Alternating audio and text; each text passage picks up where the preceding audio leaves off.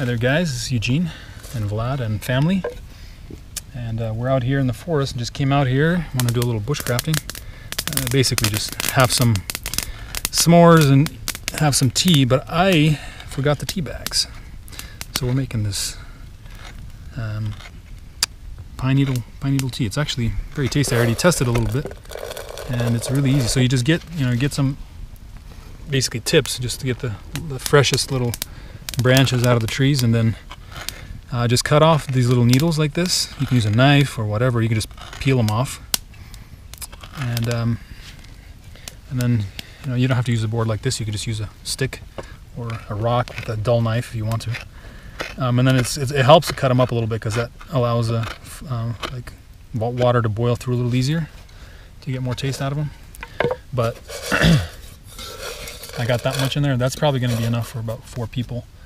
I'm gonna put another one one in there.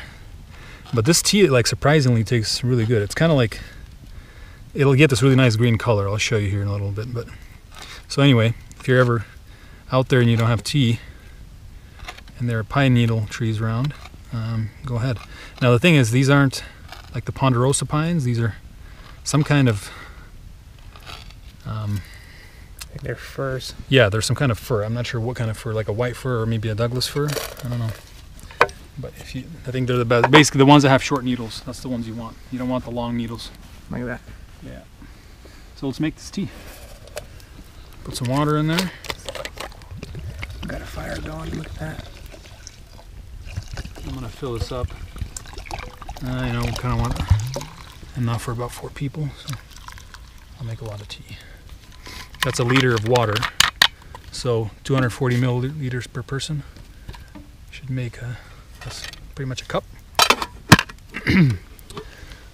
so then you have this really cool setup.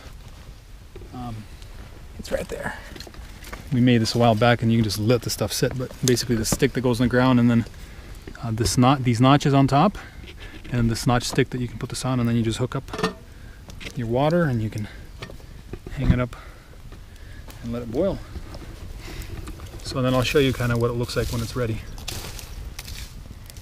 Mm. That was good. Yep. Let's make some s'mores, shall we? Indeed. By the way, guys, I've been using this axe out here. This is a nice axe. And I used my awesome uh, bushcrafter from Benchmade, the Bushcrafter 162, to start this fire and get the chips ready and make some feather sticks. And that thing worked like a charm.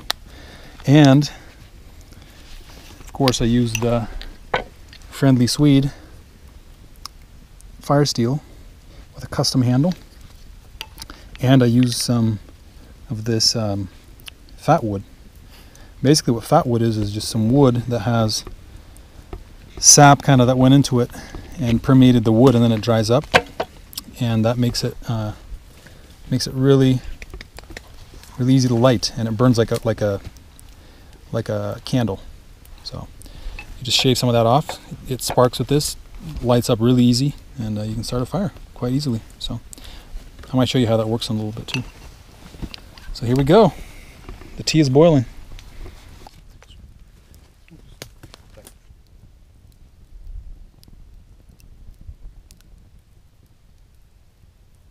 Guys, I just wanted to show you how to uh, start a little fire with that fire steel.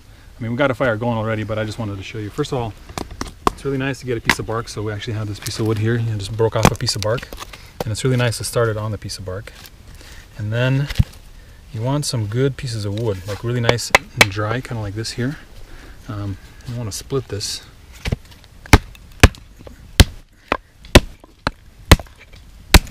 It's kind of a, it's kind of a, I think might be a little moist. Um, got a piece of cedar here, which is kind of rare to find. Cedars are really light wood, it's really soft. It's like it feels like a feather. But the thing that's really nice about it is you can make really nice feather sticks out of it. So I'll show you that. And um, having a feather stick is really nice for this this part of the um, to start a fire. I'll show you what I mean. So you want some shorter sticks, kind of like that.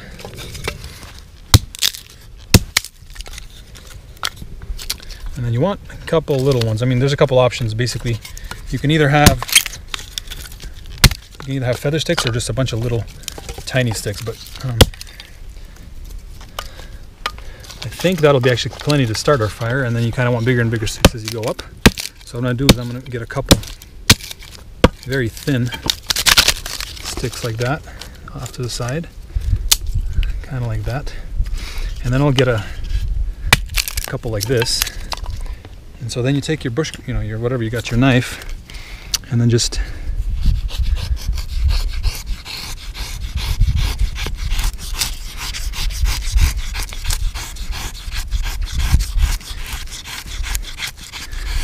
Oh, that is nice.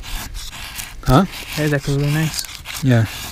See how Cedar. yeah, see how nice the chips are, and it makes this really nice little beard. Mm-hmm. Maybe. And then you want a couple of those, and then you save save these ones that fell off. Just put them on the side here, and then one more.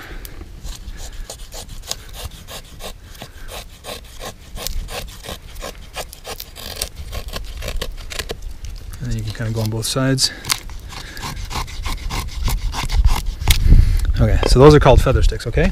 So then, what I really used to actually light it initially is this piece of fat wood, like I said, and it's just, you can see it's really yellow, it's kind of filled with sap, and you really just want just a couple really small shavings, you don't need much for this part.